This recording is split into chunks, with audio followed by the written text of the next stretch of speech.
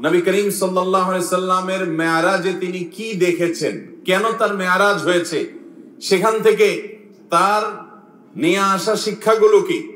সেখানে কি কি ঘটনা ঘটেছে? সেখান থেকে আমাদের নেয়ার বিষয় কি আছে?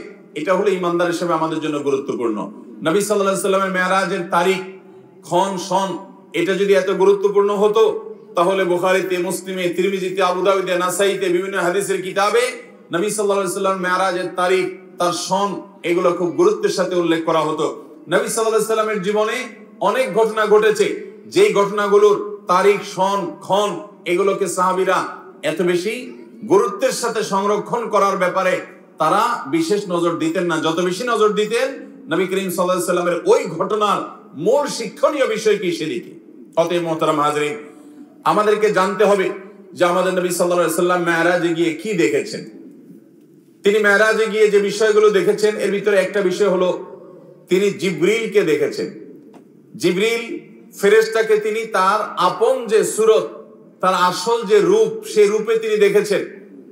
বিভিন্ন বর্ণা দ্বারা প্রমাণিত যে জিব্রিলকে আল্লাহ রব্বুল আলমিন কতগুলো ডানা দিয়েছেন?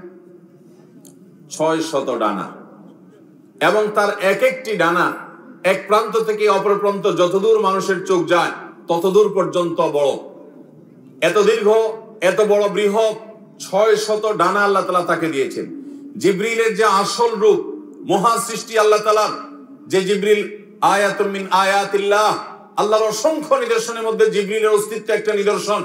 এটিকে নবী সাল্লাহ সাল্লাম মেয়ারাজে তার আসল রূপে দেখার সুযোগ পেয়েছেন। এটি ছিল একটি। নবী করিম সাল্লামের মেয়ারাজে তিনি আরও যা দেখেছেন, তার মধ্যে দ্বিতীয় হলো বোরাক তিনি দেখেছেন। বোরাক একটি বাহন।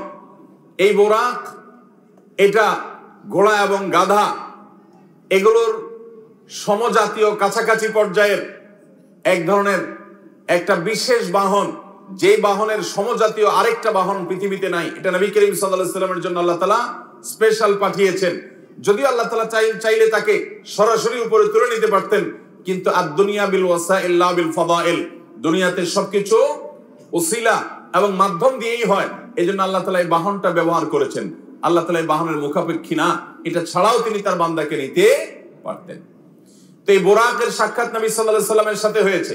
আমাদের দেশে অনেক ঘর বাড়িতে দেখবেন, অনেক দোকানে দেখবেন, বিভিন্ন বড় বড় এরকম ছবি টাঙ্গানো আছে। যে ছবিতে লেখা আছে নবীজির বোরাক। সে বোরাকের আবার দুটা ডানাও আছে। দেখছেন আপনারা? অথচ নবী করিম সাল্লা সাল্লামের বোরাক আমরা কেউ দেখেছি? তাহলে এই ছবি যে অঙ্কন করেছে সে থেকে দেখল? বোঝা গেল, এটা নবী সাল্লাহ সাল্লামের বোরাকের নামে প্রতারণা। তার বোরাকের ধরন কেমন ছিল এটা তিনি জানেন। হাদিসের বিবরণের সাথে বরং এই ছবির কোনো মিল পাওয়া যায় না। এখানে ডানা দেয়া হয়েছে। অথচ নবী সাল্লাহ বিবরণ থেকে সেরকম কিছু। এখানে যেরকম দেখা হচ্ছে সেরকম কি বোঝা যায় না। অতএব যারা বরকতের জন্য বোরাকের ছবি দোকানে টাঙ্গায় রাখেন, অফিস আদালতে টাঙ্গায় রাখেন, বাসা বাড়িতে টাঙ্গায় রাখেন, তারা এটার কারণে কোনো সওয়াব বা বরকত লাভ করা তো দূরের কথা, উল্টা গুণাগার হবেন। কারণ নবী সাল্লাল্লাহু সাল্লাম বলেছেন বুখারীর হাদিস, লা তাদখুলুল মালাইকাতু বাইতান ফিহি কালবুন আও সূরা যে ঘরে কুকুর থাকে, অথবা কোন প্রাণীর আকৃতি থাকে, ছবি থাকে, সেখানে আল্লাহর রহমতের ফেরেশতা প্রবেশ করবে বিধায় নবীজির বোকরাকের নামে আপনি যে ছবি রাখছেন, এটার মাধ্যমে আপনার ব্যবসা বরকত হবে না, ঘরে বরকত নাজিল হবে না, বরং আল্লাহর বরকত এবং রহমত আসার দুয়ার বন্ধ হয়ে যাবে। আল্লাহ তালা আমাদেরকে শয়তানের এই ধোকা থেকে বেঁচে থাকার তৌফিক দান করুন। তাহলে নবী সাল্লাল্লাহু সাল্লাম গিয়ে দ্বিতীয় যে বিষয়টি দেখেছেন, সেটা হলো বোরাক আল্লাহর বিশেষ এক সৃষ্টি, যেটা আমরা কেউ দেখি নাই, তিনিও আর তার আগে দেখেন নাই, তারপরে আর দেখেন নাই। একটা বিশেষ সৃষ্টি, বিশেষ একটা বাহন যেটার উপরে করে আল্লাহ তালা তাকে ভ্রমণ করিয়েছেন রাত্রিকালীন ভ্রমণ। তৃতীয়ত তিনি যা দেখেছেন তা হলো, তিনি প্রতিটি আসমানে আল্লাহর একজন বিশেষ নবীর সাথে সাক্ষাৎ করেছেন। আল্লাহর যে সমস্ত নবীরা দুনিয়া থেকে বিদায় হয়ে গেছেন, মারা গেছেন, নবীগণ দুনিয়া থেকে চলে যাওয়ার পরও একটা বিশেষ হায়াত, বিশেষ একটা জীবন তারা লাভ করেন। আল্লাহ রব্বুল আলমিন তাদেরকে অদৃশ্যের জগতে সে অলৌকিক ভাবে এক এক আসমানে আল্লাহ তালা এক একজন নবীর সাথে নবী করিম সাল্লাম আমাদের রসুলের সাক্ষাৎ ঘটিয়েছেন। তিনি প্রথম আসমানে দেখেছেন আদম আলাহিসাল্লামকে দ্বিতীয় আসমানে দেখেছেন আইসা এবং ইয়াহিয়া আলহি সালাতামকে তৃতীয় আসমানে দেখেছেন আল্লাহ নবী ইউসুফ আলহি সালাতামকে চতুর্থ আসমানে দেখেছেন আল্লাহ নবী ইদ্রিস আলহি সালাতামকে পঞ্চম আসমানে দেখেছেন আল্লাহ নবী হারুন আলাইসালামকে ষষ্ঠ আসমানে দেখেছেন আল্লাহ নবী মুসা আলাইসালামকে আর সাত নম্বর আসমানে দেখেছেন আল্লাহর আরেক নবী এবং খালিল আল্লাহ রসুল ইব্রাহিম আলহি সালাতামকে তো আল্লাহ তালা আমাদের প্রিয় নবী সাল্লাহ সাল্লামকে এতজন উলুল আজমি মিনার রসুল, বড় বড় রাসুলের সাথে, আল্লাহর বড় বড় নিকার বান্দাদের সাথে, নবীদের সাথে, যারা দুনিয়াতে আল্লাহর মিশন নিয়ে, তাওহিদের দাওয়াত নিয়ে এসেছেন, বহু গ্লানি পোহাইছেন তাদের সাথে আমাদের নবীজি সাক্ষাতের সুযোগ করে দিয়েছেন। তিনি তাদের সাথে পরামর্শের সুযোগ পেয়েছেন, তাদের কাছ থেকে অভিজ্ঞতা শেয়ার করার সুযোগ পেয়েছেন, তাদের নাসিহা নেওয়ার সুযোগ পেয়েছেন, তারা তাকে অভিবাদন জানিয়েছেন, তাকে ওয়েলকাম জানিয়েছেন, আল্লাহর শ্রেষ্ঠ রাসুল, শ্রেষ্ঠ নবী হিসেবে তাকে তারা সম্মান দিয়েছেন। এই নেয়ামতটা আল্লাহ আমাদের হাবিব সাল্লা সাল্লামকে আমাদেরকে, আমাদের প্রিয় নবী সাল্লাহ সাল্লামকে আল্লাহর হাবিবকে আল্লাহ তালা এই নেয়ামতটা মেয়েরাজের মাধ্যমে দিয়েছেন, যে তিনি আদম আলাইসালামের সাথে ঈসা এবং ইয়াহিয়া আলাইসালামের সাথে, ইউসুফ এবং ইদ্রিস আলাইসালামের সাথে, মুসা এবং হারুন আলাইসালামের সাথে এবং ইব্রাহিম আলাইসালামের সাথে সাত আসমানে এক একজনের সাথে সাক্ষাৎ তিনি করেছেন। চতুর্থ তো আমাদের নবী করিম সাল্লাহ সাল্লাম মেয়ারাজে যা দেখেছেন সেটা হলো, আল্লাহ তালা সুরে কাউসারে বলেছেন, ইন্না আতাইনা কাল হে রাসূল, আমি আপনাকে দান করেছি কাউসার। কাউসার শব্দের অর্থ হলো অধিক কল্যাণ, প্রভূত কল্যাণ। এখানে হাউজে কাউসারও বোঝানো হতে পারে। হাউজে কাউসার যেটি আল্লাহ তালা আমাদের নবীজিকে দিবেন কেয়ামতের ভয়াবহতম দিনে, যেদিন পিপাসায় মানুষের প্রাণ ওষ্ঠাগত হওয়ার উপক্রম হবে, কিন্তু মৃত্যু তো আর হবে না।